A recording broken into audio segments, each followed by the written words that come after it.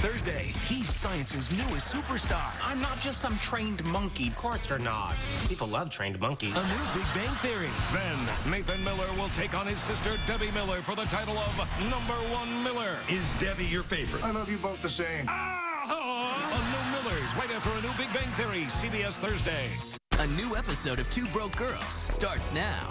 Only CBS.